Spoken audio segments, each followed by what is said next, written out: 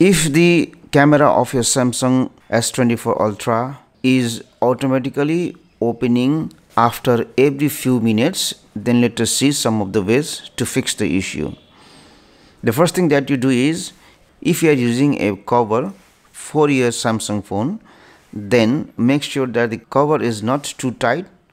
If the cover presses this side button continuously then the camera opens up so remove the cover to check if that is the issue. The next thing that you will do is if this problem has started to occur after installing a certain application then make sure to uninstall the app. Or else what you do is go to settings here scroll down and go to apps. Tap on these three dotted icons here. Select this option reset app preferences and then select reset.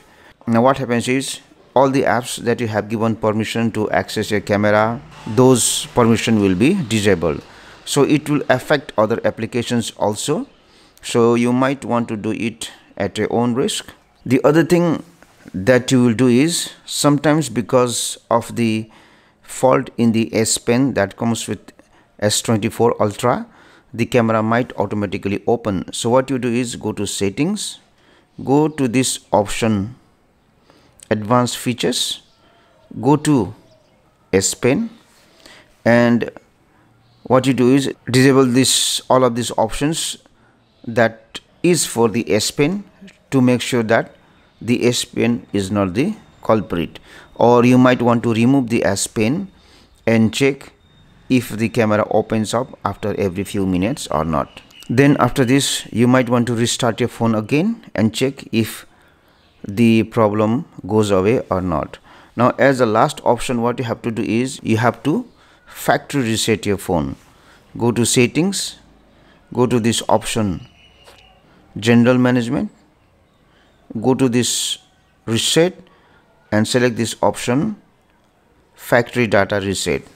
Now once you do this factory data reset all the applications that you have installed and all the data will be removed so you have to back up before you do this factory data reset. So after doing this one hopefully the camera of your samsung ultra should not open after every few minutes.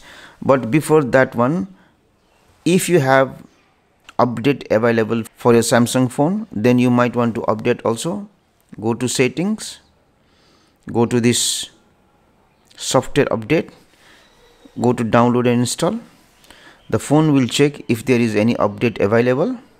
And if there is update then at first update your phone before doing the factory data reset. Thank you for watching this video.